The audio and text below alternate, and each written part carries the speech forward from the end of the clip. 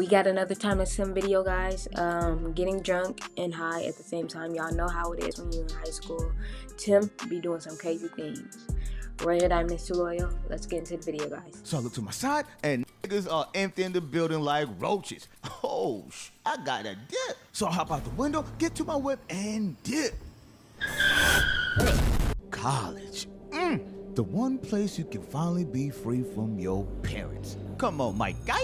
You know, kids only go to college for one reason to get lit. Uh. Sure, you're supposed to further your education and all, but fam, it's like they say you only live once. Now, when it comes to your boy, I couldn't wait to get to college. But before beginning college, you gotta get through high school, which means you're still under your parents' rules. Now, my parents were anything but cool. See, just like any household, we had rules. Rule number illegal substances, meaning no lighting up dead leaf, and of course, no drinking dead juice. Rule number two no sneaking out. When the sun goes down, sit your ass down. Which leads to rule number three. On the weekends, curfews 9 p.m. Not 901, not 9:30, 9 p.m. on 9 the p.m. dot, my guy. Not following the rules was simple because I broke each rule. I snuck out the crib, partied after curfew, and Of course. spaced out, all in the same day. And that's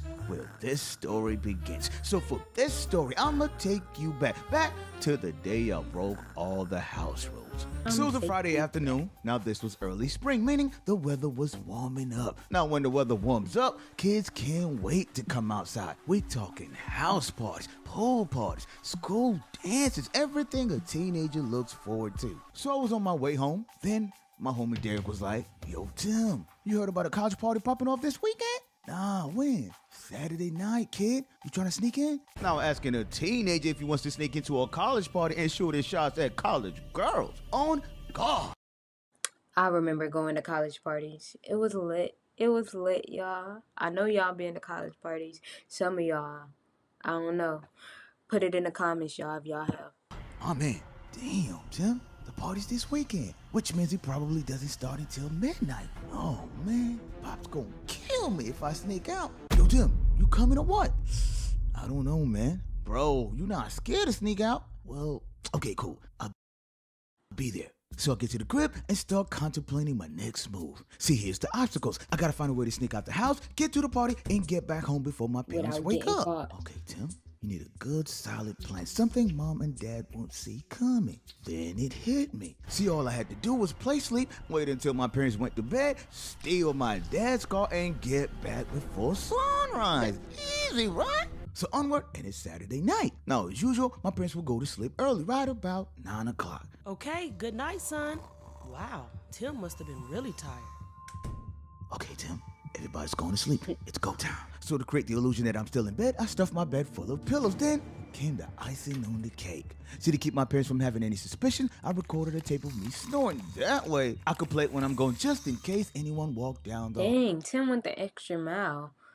Over here making making little little sounds, making it seem like he's snoring.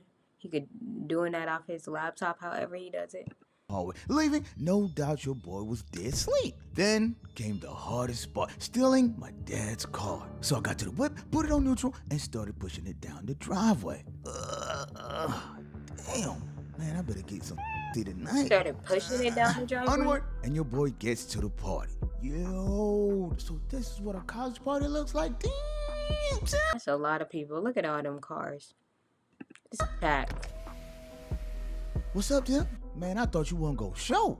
Yo, where the shorties at? Fam, it's packed in there. Come on, we about to turn up. So we get inside the building. Now, if you ever been to a We college party, you know up. the scent in the air smells a little earthy, a little herbal, some might say. So let's just say homie could barely see in front of him. Damn, I could barely see.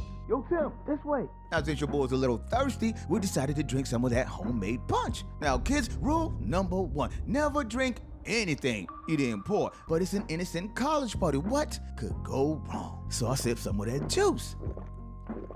Dang. dude. Damn, kid, this juice is hitting. What's in it? Man, I don't know, but we about to get lit. So I sip a little bit more. Now, laying next to the drinks were a couple of some good old homemade brownies. Damn, I I am a little hungry too. Yo, Derek, they got snacks too? Yo, damn, kid, these college parties are the shit. Everything's free. So my guy Derek picks a brownie, cuts me a piece, and we both take a bite. Mmm, not It's an edible. Got a little I kick to already know. I already know.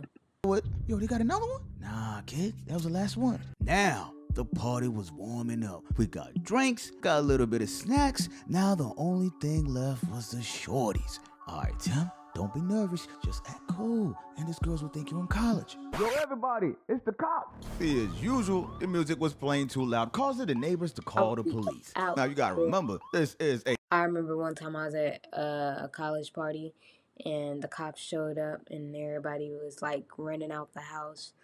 I did experience that. It was crazy, y'all. a college party. Odds are half Maybe one day I'll do a story time. Just maybe. the kids are not of legal age. So I look to my side and niggas are emptying the building like roaches. Oh, sh- I got a dip. So I hop out the window, get to my whip, and dip.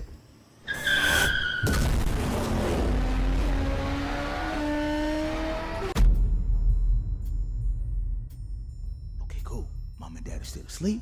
Gotta be discreet. So I use the back door to get in, get to my room, and lay on my bed.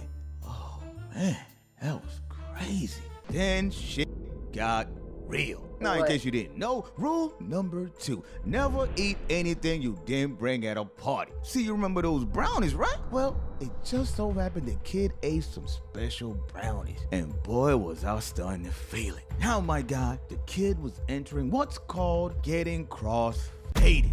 Oh, what the f? I'm bugging. Feels like I'm floating in the air. Okay, Tim, something's not right. Just keep it cool and don't panic. Get it together. Oh, sh- was that a monkey? Oh, no, no, no, no, no. Now I know I'm bugging.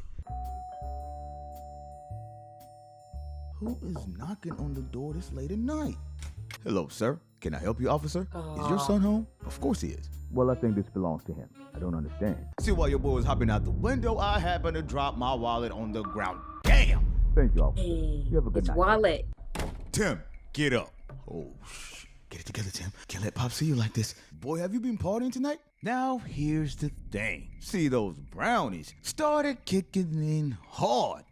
Pops, your head looks crazy. What? Yeah. Oh my gosh. I had an experience with inedible. Maybe I'll do a story time on that. Yeah. I never noticed you got a peanut head, kid. Never again though. Never. Are you losing your mind? What's so funny? Check this out, old man. I was about to get something tonight. You feel me? Boy, are you hot? hot? Oh no, Pops. I'm f***ed up. Yo, Pops, come here. For real. Just between me and you. How much getting in high school?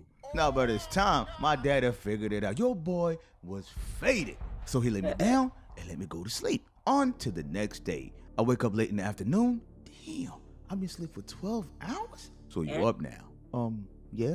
Now help me understand this. You snuck out, broke rule number one, after curfew. Then you stole my car, Grand Theft Auto.